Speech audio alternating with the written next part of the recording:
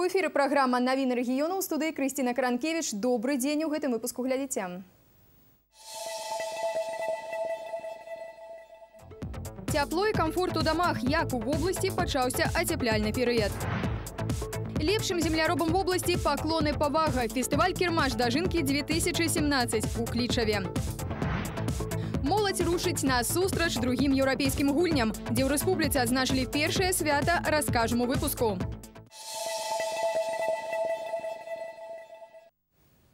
10 зваротаў наконт падачы цяпла на кантролі. Астатнія скаргі, якія паступалі ў жрэў Магілёва, вырашыліся паступова. Пра гэта паведамілі ў дыспетчарскай службе абласнога ўправлення жыллёва-камунальнай гаспадаркі.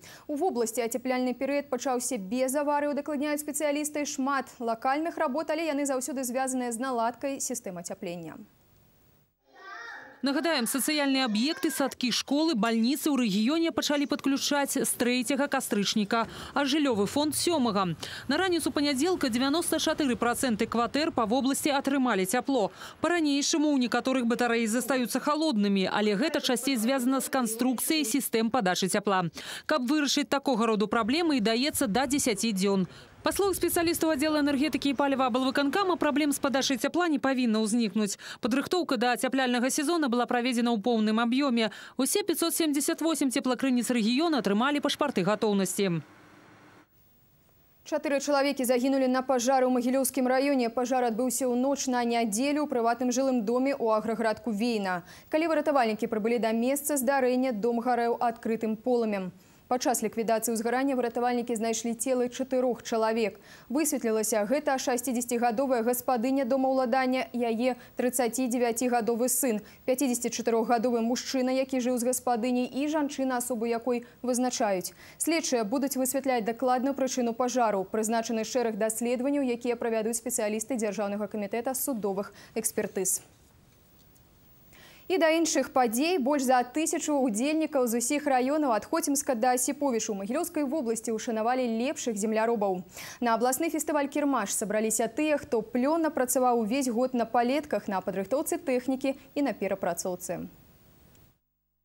Ганаровыя госці, артысты, народныя ўмельцы і, вядома, лепшыя аграрыі Магілёўскай вобласці. Усіх іх на абласны фестываль кірмаш дажынкі сабраў гасцінны клішаў. У райцэнтры падвялі вынікі уборачнай кампаніі 2017 года. Да свята хлебаробаў сталіца форуму змянілася да непазнавальнасці. Падарункі раён атрымаў і ў дзень адкрыцця фестывалю. Клічаўшына вядомы партызанскі край. З ворагамі тут змагаліся і зброі і словам. Таму сімвалічна, што першы ў Магілёўскай вобласці помнік ваенным журналістам адкрылі на гэтай зямлі. Я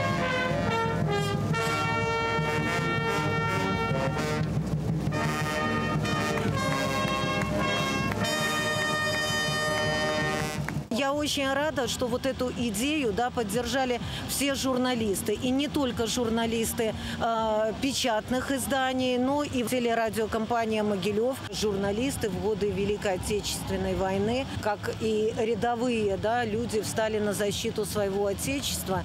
И слово ведь не зря приравнивалось да, к штыку. Цэнтральную плошчу абласной сталіцы дажынак упрыгожыла скульптура рог багацця, сімвал дабрабыту і працавітасці. Каб з гэтага часу тут заўсёды было з рогу ўсяго многа. Мы всегда готовы принимать гостей, мы всегда рады гостям. Сделали очень многое, конечно, хотелось бы и еще больше, но вы видите сегодня, как преобразился город. Результат 34,5 тысячи тонн валовый сбор зерна, 32,3 центнера с гектара. Это выше прошлогоднего. Достойный результат. У святочным шэсці усе тыя, хто з раніцы да ночы абмалочваў, перавозіў і сушыў зерне. Усе яны героі жніва. Если урожайность нормальная, нормально все организовано, то инженерная служба, и агрономическая служба. Ну вот он и результат. Хлеб убирать надо. Ну, понятно, что дома в основном не находишься. Начиная с весны и до поздней осени. Не каждое зерно как бы можно вышить правильно. Получается, например, каждая культура требует свою температуру, свой воздух и все остальное. Вот, как бы это очень сложный процесс такой. Предприятие работает больше 7 лет. Вот. И это для меня первая награда, и для меня это как бы очень даже радостно. 2017 год для наших хлеборобов поспяховы. Заготовлено необходимое количество э, зерна для продовольствия. Ну, будем говорить, э, полуторагодовой запас у нас есть.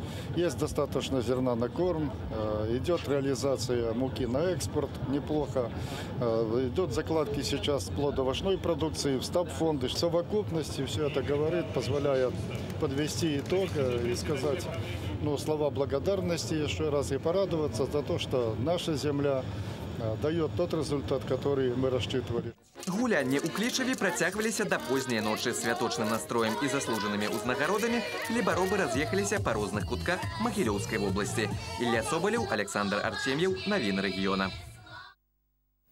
Клічаў стаў першым райцэнтрам рэспублікі, які прымаў свята насустрач другім еўрапейскім гульням. Так што тут не толькі ўшаноўвалі аграрыю, але і ставілі спартыўныя рэкорды. Падрабязнасці ведаюць нашы карэспандэнты. Першы беларускі медаль на летніх алімпійскіх гульнях у бразільскім рэ заваяваны цяжкаатлеткай Дар'яй Наумовай і свой шлях у вялікі спорт яна пачынала ў хлічы. В плане всего, как бы, нам э, большое улучшение пошло в плане города и как бы спортивного трени- э, зала, как бы вот этого стадиона, то же самое. Намного лучше скажем, стало. Можно всего добиться, если было желание и какая-то определенная большая цель. преобразилась не только город, но преобразилась и вся спортивная инфраструктура.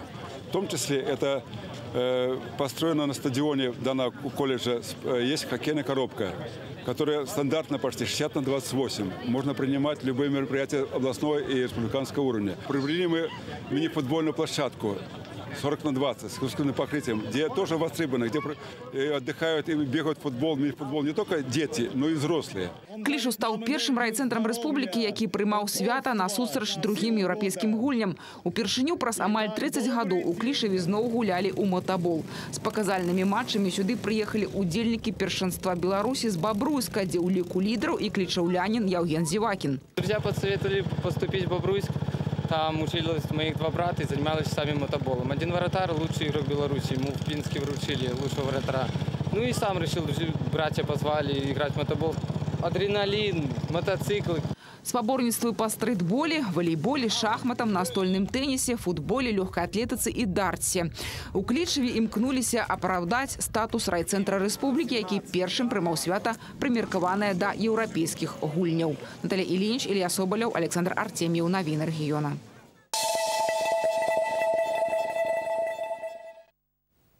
І да іншых спартыўных падзей мінскія цмокі ўладальнік кубка Беларусі па баскетболе. Фінал турніру сярод чатырох лепшых клубаў краіны адбыўся ў магілёўскім спарткомплексе Алімпіец. Мясцовы барысфен Гродна 93 дзве сталічныя каманды спрачаліся за перамогу на турніры. Мацнейшай зноў стала каманда мінскіх драконаў. Магіляўчане другія у гродзенцаў бронзавыя ўзнагароды. Акрамя тытулу мацнейшай каманды на Кубку Беларусі ўзнагародзілі лепшых у сваім амплуа. Пяць ігракоў барысфена ўвайшлі ў сімвалічную зборную. На гэтым тыдні бярэ старт чэмпіянат Беларусі. Сёлета ён пройдзе з удзелам 10 каманд. З першага этапу барацьбу за медалі пачне і каманда цмокі. Магіляўчане свае першыя гульні правядуць у гасцях. Хатнія сустрэчы запланаваны ў алімпійцы на апошнія выхадныя кастрычніка. Дарэчы, займацца спортам ці проста весці актыўны лад жыцця можна ў любым узросце. Пра гэта сведчыць відэа, якое ўдалося зняць днямі ў Магілёве ў мікрараёне Казіміраўка. Вашай увазе рубрыка на ўласныя вочы.